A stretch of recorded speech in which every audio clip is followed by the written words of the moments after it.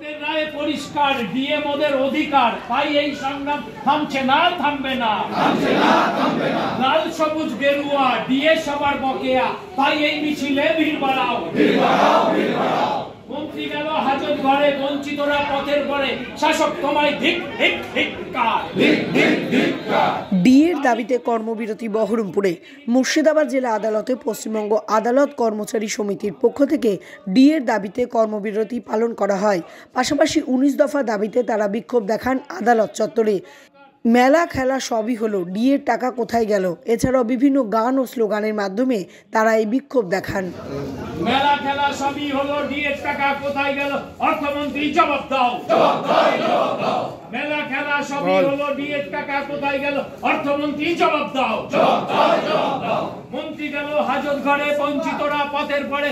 শাসক তোমায় ধিক ধিক ধিক্কার সরকার আমাদেরকে বাধ্য করেছে আজকে এই পথে নামতে। আমরা দীর্ঘদিন ধরে দাবি দেওয়া চালিয়ে যাচ্ছি, কিন্তু সরকার কোনো কর্ণপাত করছে না এবং মানবিকতা দেখছে, দেখাচ্ছে না।